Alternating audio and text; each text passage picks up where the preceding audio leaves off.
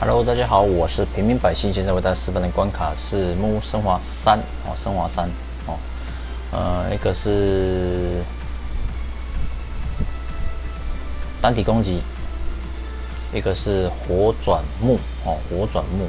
所以我们先打单体攻击这只哦，因为它帮我们转木的话，那基本上对我们来讲是一个蛮有利的哦。嘎掉，哎耶！舒服，舒服，要尽快的处理掉它，不然我们就要被处理了。他已经帮你转了，再不快就不行哦。当然，先打右边那一只也是可以的，就是看你的战术啊。嗯，好，这个我们决定换个战术好了。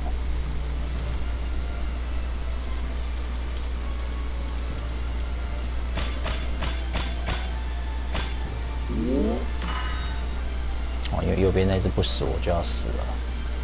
哎，不一定啊，看一下，两只加起来，两只加起来不会死，但是还是蛮痛的哈。记得要做单体攻击，要做单体攻击哦。左边做一点点叠珠哦。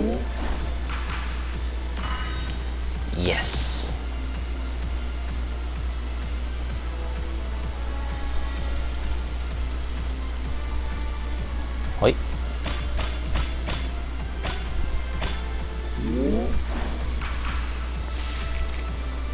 看你是先打右边，先打左边，自己判断一下。因为我觉得打左边好像有点抓痒哦，所以百姓后来改变战略，先打右边。好像这样就是无攻击，哦，无攻击。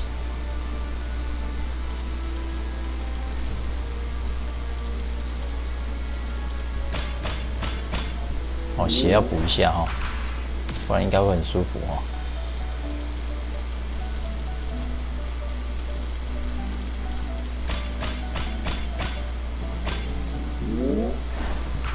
先降补没关系，因为两只在一起的压力我觉得有点大了，所以我改变了打法哦，选择挑打右边那一只，这样比较稳一点。虽然说可能比较慢，但是稳定性是首要的哦。尤其像这种关卡，它设计上的运气成分通常会比较多一点哦，所以我们把运气降到最低哦，把运气降到最低。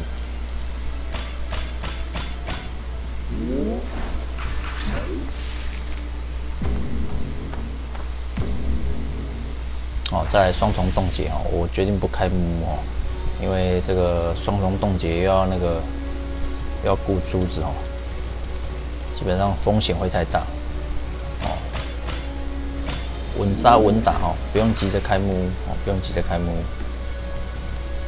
除非你觉得可以一波带走了哈。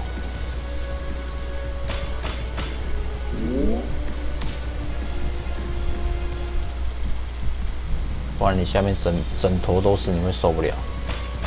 整个都冻结，你就受不了。又要做四康博，风险太大哦，风险太大。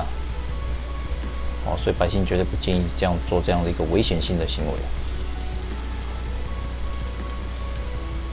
嘿，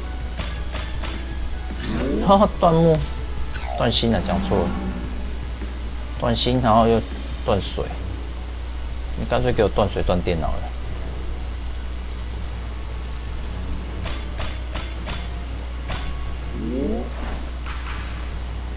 对你干脆给我断水断电比较快。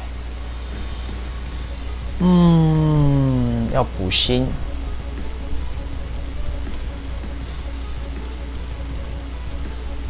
哦，这个有点危险的一个斜转哦，尽量不要这样做哦，因为风险太大了。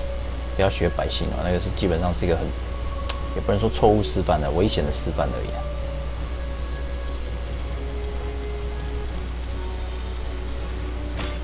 好像我只要不不把木开下去的话，稳定度会比较好一点，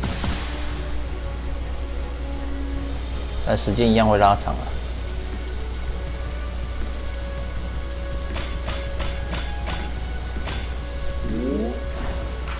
哦，那我是希望妥妥的打法，目前看起来应该是可以开了哈，因为我想这一波就差不多可以送他走了，就让我们送他离开吧。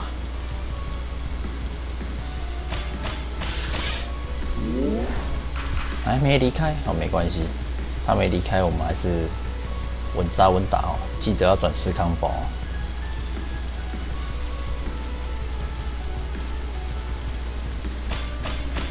哦，实力好的人可以直接开了，好不好？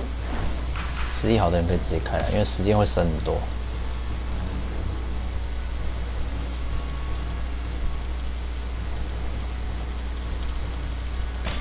哦，像百姓刚刚是做一个非常危险的错误示范，所以这波如果没有带走他哦，百姓就跟各位说再见哦。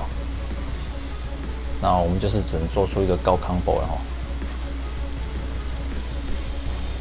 哦，因为就不带走他，我就被带走了啊。好，谢谢各位。Say goodbye。哦，基本上危险动作不要乱玩哦，这个是属于练过。好好，谢谢各位，拜拜。